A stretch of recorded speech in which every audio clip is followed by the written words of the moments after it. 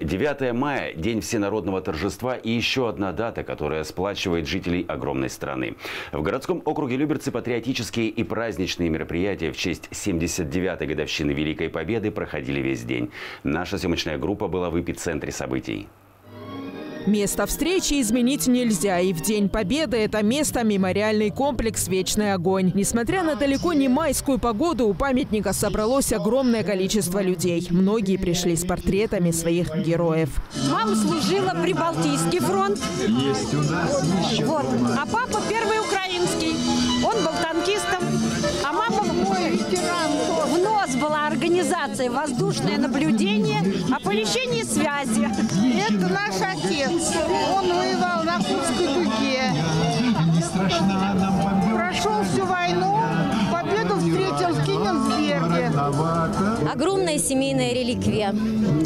Это историческое прошлое, это историческая память.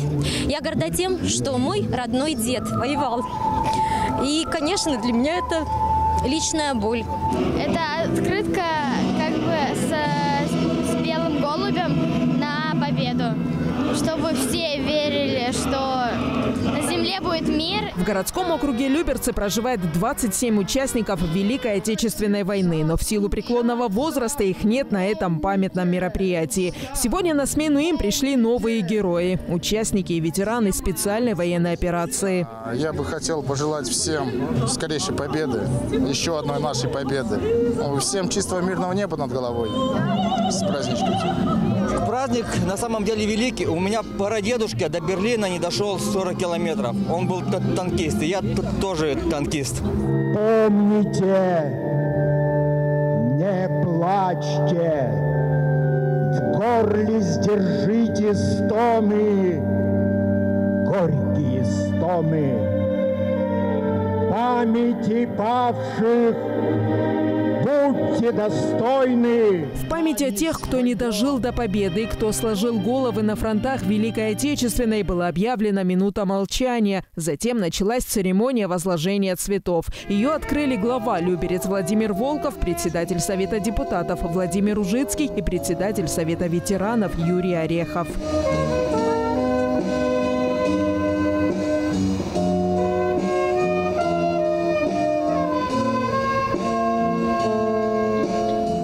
За ними последовали ветераны военной службы, курсанты военных вузов, депутаты городского округа, представители благочиния, молодежь, студенты, школьники. Нескончаемый поток людей в течение нескольких минут подходил к вечному огню. И даже после возложения цветов никто не спешил расходиться.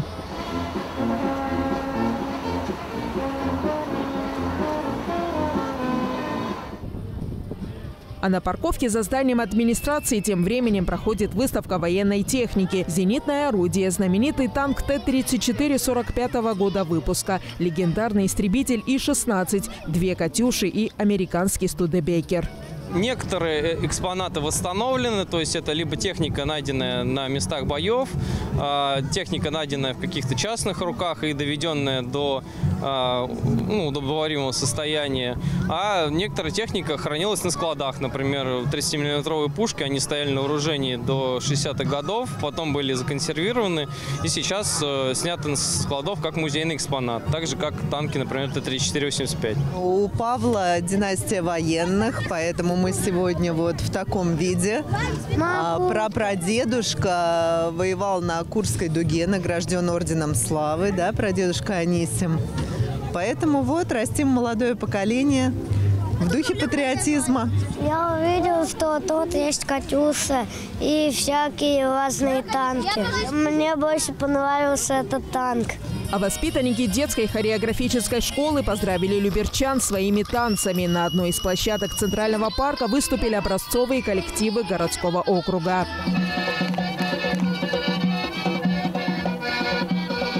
Луиза Игиазарян, Сергей Гвоздев, телеканал ЛРТ.